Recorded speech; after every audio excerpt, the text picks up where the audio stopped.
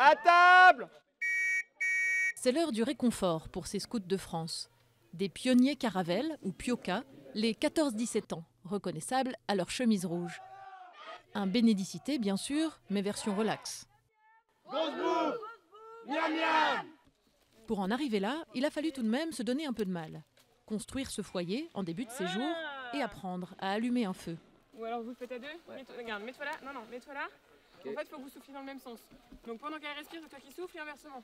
Alors, le feu, effectivement, c'est quelque chose qui est central dans la vie d'un camp, que ce soit pour faire à manger euh, à tous les repas ou que ce soit pour euh, le grand feu de veillée le soir, où on se rassemble, qui permet de faire de la chaleur, de la lumière.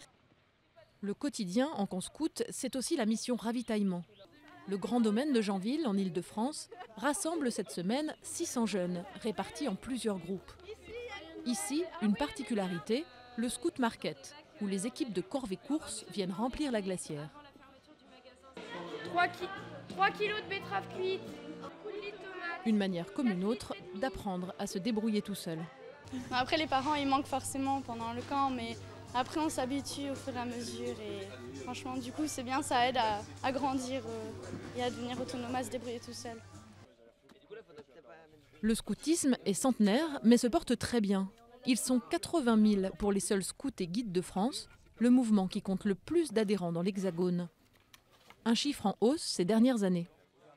Les familles nous font confiance, euh, des valeurs comme euh, euh, la solidarité, l'apprentissage de la collectivité, de la vie dans la nature sont des valeurs dont les parents ont envie pour leurs enfants.